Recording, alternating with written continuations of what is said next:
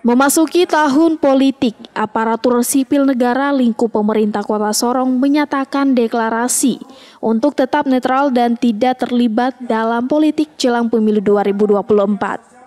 Dalam upacara peringatan hari ulang tahun Kota Sorong ke-23, deklarasi ini serempak disampaikan seluruh ASN.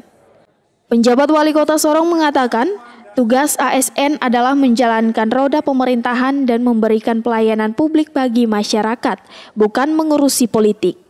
Sehingga setiap saat ASN harus diingatkan akan tugasnya itu. Jika ditemukan ASN yang melanggar aturan yang telah ditetapkan, tentunya akan ada sanksi yang diberikan sesuai aturan yang berlaku.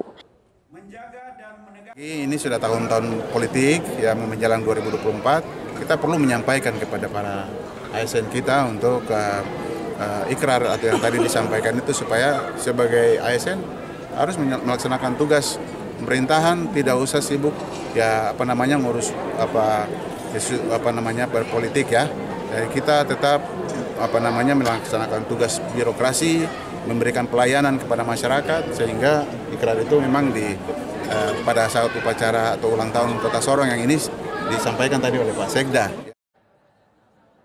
Flora Batlayeri, Kompas TV Sorong, Papua Barat Daya.